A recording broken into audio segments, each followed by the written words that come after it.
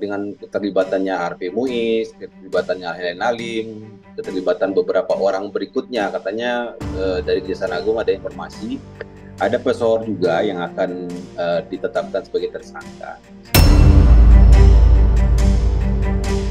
Apakah istri dari diduga tersangka ini bisa menjadi tersangka? Jawabannya adalah bisa. Ini sesuai dengan pasal 55 ayat 1 Kitab Undang-Undang Hukum Pidana. Tambahan tersangka yang kami dapatkan dari informasi di dalam uh, Kejaksaan Agung, ada enam orang lagi tersangka.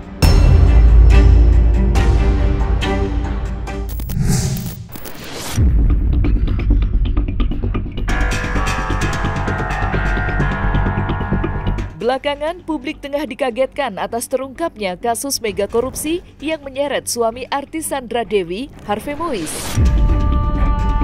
Dari kasus korupsi yang merugikan uang negara hingga 271 triliun itu, pihak Kejaksaan Agung sudah menetapkan 16 tersangka. Dan baru-baru ini beredar kabar jika dalam waktu dekat Kejaksaan Agung atau Kejagung akan menetapkan enam tersangka baru Dua di antaranya adalah public figure. Sontak saja, nama Sandra Dewi kini menjadi sorotan. Bukan hanya karena sang suami sudah ditetapkan sebagai tersangka, tetapi muncul berbagai spekulasi di tengah publik jika Sandra Dewi juga akan ikut terseret ke dalam pusaran kasus korupsi. Lantas, seperti apa pegiat anti korupsi dan praktisi hukum melihat kasus mega korupsi tersebut? Mungkinkah Sandra Dewi akan ikut menyusul sang suami yang sudah terlebih dulu ditetapkan sebagai tersangka? Dengan keterlibatannya Harvey Muiz, keterlibatannya Helen Alim, keterlibatan beberapa orang berikutnya, katanya eh, dari Kejaksaan Agung ada informasi ada pesohor juga yang akan uh, ditetapkan sebagai tersangka. Nilai sebesar 271 triliun ini harus didistribusikan secara sempurna. Kalau tidak didistribusikan secara sempurna, maka hasil dari korupsi sebesar ini akan berada pada satu orang. Dan itu tidak mungkin. Orang itu pasti akan dicatatkan sebagai salah satu orang terkaya di Indonesia. Namun yang kita lihat sekarang ini, ada beberapa orang dijadikan nomini sehingga kekayaan hasil dari korupsi atau tindak pidana luar biasa ini ini e, menyebar nomini ke beberapa orang makanya Kejaksaan Agung menyampaikan ada beberapa pesohor yang akan ditetapkan sebagai tersangka public. dari public figure. Oke. Okay. Bang. Dari public figure. Jadi dua orang itu adalah public figure, empat orang lagi ini adalah pengusaha dan kalau seandainya memang uh, konkret Kejaksaan Agung ini Dua orang lagi ini adalah pengusaha dan pengurus partai politik. Potensi potensi istri, saya ngomong potensi istri ataupun uh, eh, uh, apa apa namanya SD ini untuk diperiksa pasti ada, pasti ada potensi itu pasti ada karena bisa dicek mungkin apakah di PT itu dia uh, sebagai pemegang saham, di PT induk ada holding, ada sister company, ada apa anak perusahaan gitu. Apakah dia terima aliran dana dari si CSR ini? Itu kan bisa dirangkai nanti. Kalau ada sahamnya di situ berarti kan ada dividen. Berarti kan uh, si SD ini Sandra Dewi diduga menerima dividen dari follow the money yang awal dari si CSR yang ilegal, diduga ilegal lah.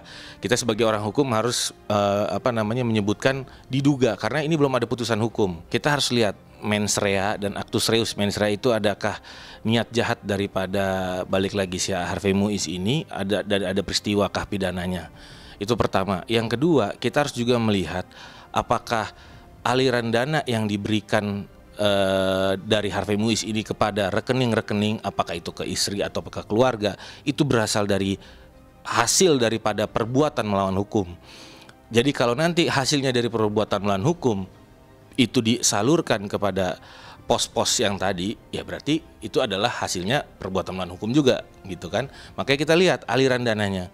Nah itu mesti dicek mendalam. Oke, yang ketiga, uh, istri bisa bisa bisa terjerat juga apa tidak? Pasti bisa.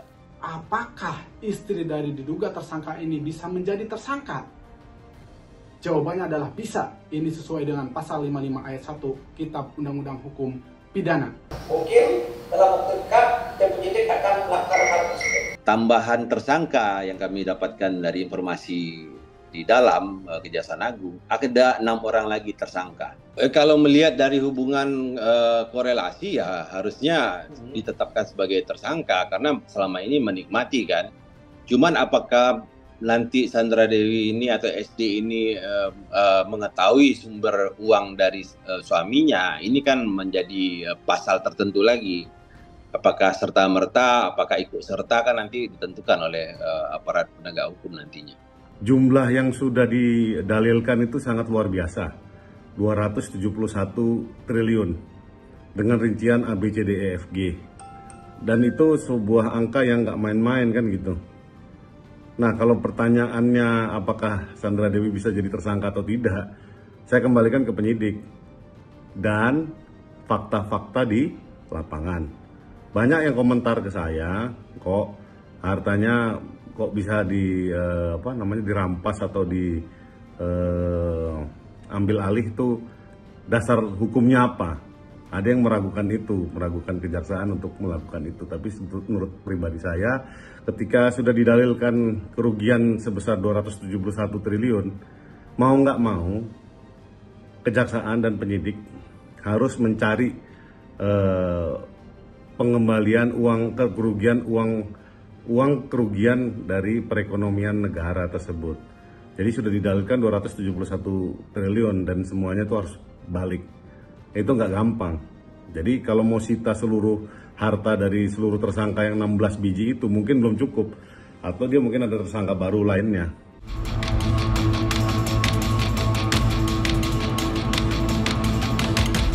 Ditetapkannya Harvey Muiz sebagai tersangka, kini pandangan publik tertuju pada Sandra Dewi yang sampai dengan saat ini belum menampakkan batang hidungnya.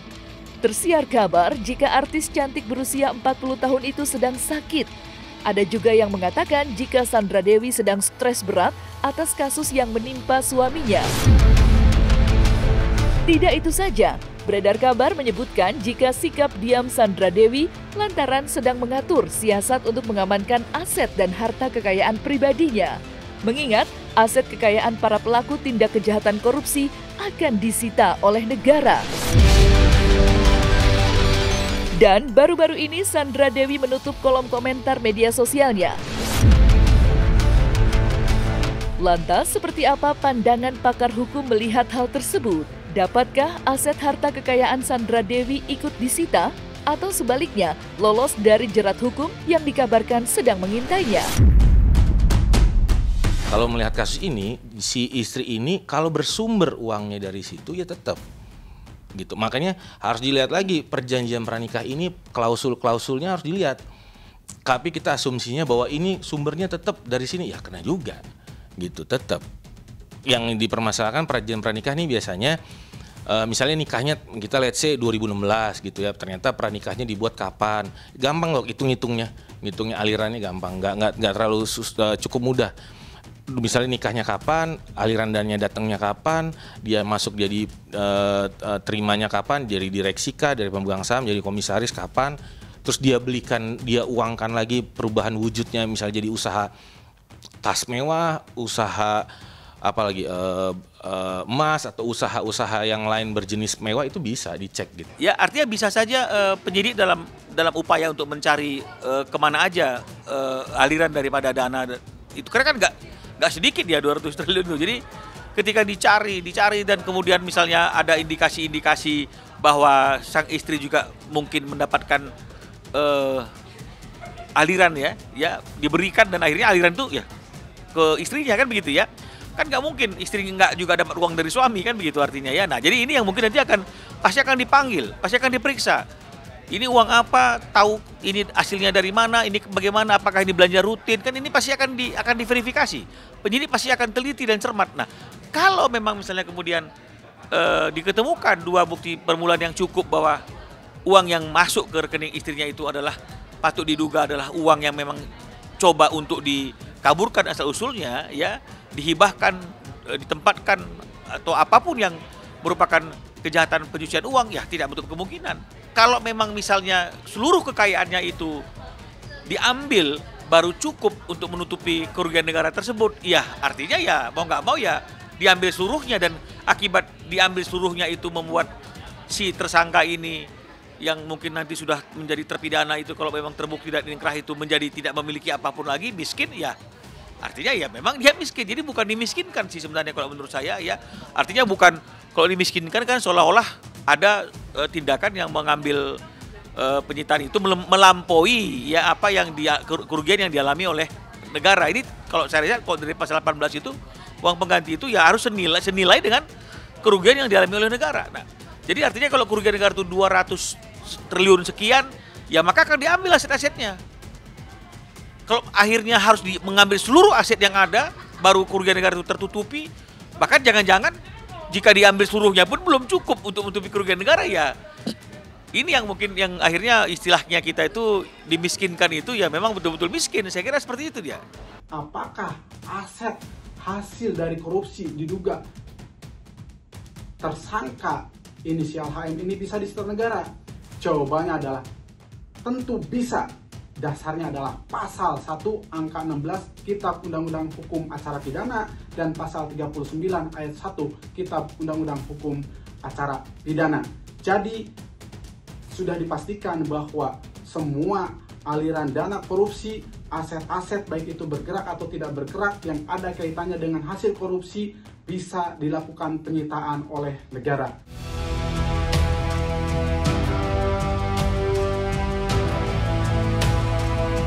Ditetapkannya Crazy Rich Harvey Mois sebagai tersangka dalam kasus dugaan korupsi tata niaga komoditas timah pada Rabu 27 Maret 2024 kemarin bisa dikatakan sebagai pintu masuk bagi kejaksaan untuk membongkar kasus tersebut.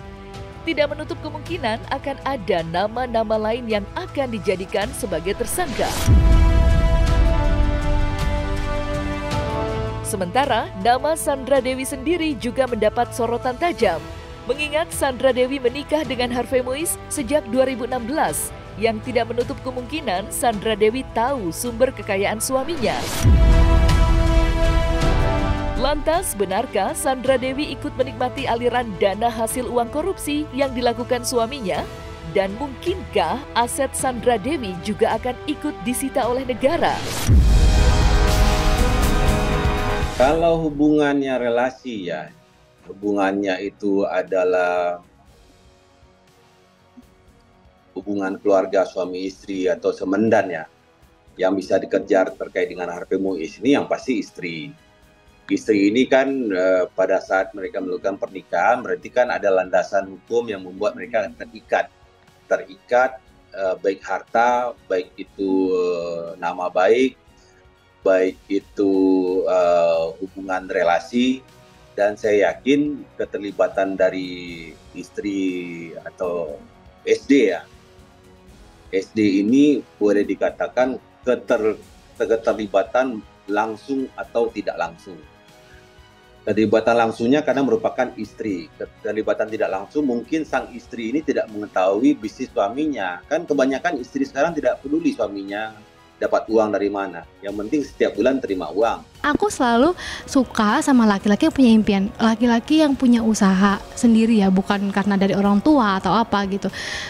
Nggak usah anaknya siapa-siapa deh gitu ya, maksudnya anaknya siapa-siapa ya enak banget. Ya puji Tuhan dapat anak siapa-siapa, dapat apa-apa, tapi aku lebih menghargai laki-laki yang berusaha sendiri nih, pengusaha nih, yang berusaha sendiri, punya karir sendiri, yang bangun sendiri gitu.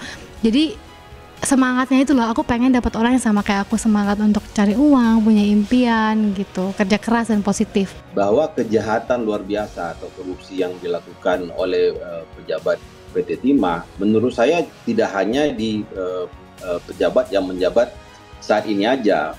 Harus diperiksa seluruh pejabat PT Timah Tbk sebelum yang ditetapkan sebagai tersangka saat ini.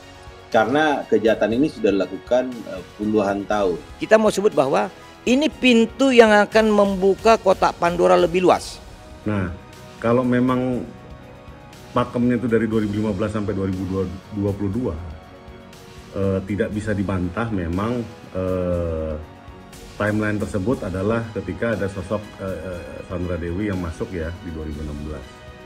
Nah, makanya saya pikir nggak salah kalau penyidik itu eh, berasumsi eh, memeriksa untuk memeriksa uh, si Sandra Dewi ya. Karena memang mau nggak mau uh, yang terlibat di dalam menikmati hasil kemudian mencoba me menyamarkan merubah bentuk dan mendistribusikan atau ya dengan kata lain menikmati lah hasil dari korupsi itu bisa dijerat dengan pasal yang sama kemudian dilapis dengan pasal TPPU ya. Karena kejahatan yang dilakukan oleh para terduga atau tersangka saat ini ini kejahatan yang nyaris sempurna.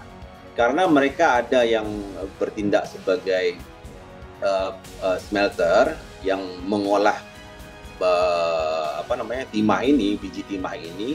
Kemudian ada lagi orang yang bertindak sebagai uh, yang melakukan transaksinya. Kejahatan ini nyaris sempurna sebenarnya apa yang tidak sempurna dari kejahatan ini? Bahwa para pelaku ini melakukan flexing. Nah kelakuan flexing ini sebenarnya adalah menjadi pintu masuk bagi uh, eh, KPK, bagi Kejaksaan Agung, bagi Mabes Polri untuk bisa mengusut orang-orang yang tiba-tiba kaya mendadak. Yang tiba-tiba kaya mendadak karena berjualan sesuatu yang common, sesuatu yang biasa di pasar Indonesia. Nah, ini sebenarnya pintu masuk. Saya berapa kali menyampaikan, flexing itu adalah ketidaksempurnaan kejahatan yang dilakukan oleh para terduga korupsi atau para terduga pencucian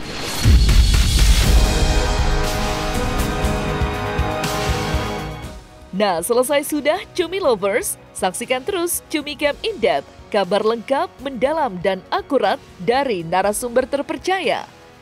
Dan jangan lupa untuk like, subscribe, dan juga share channel YouTube Cumi Cumi.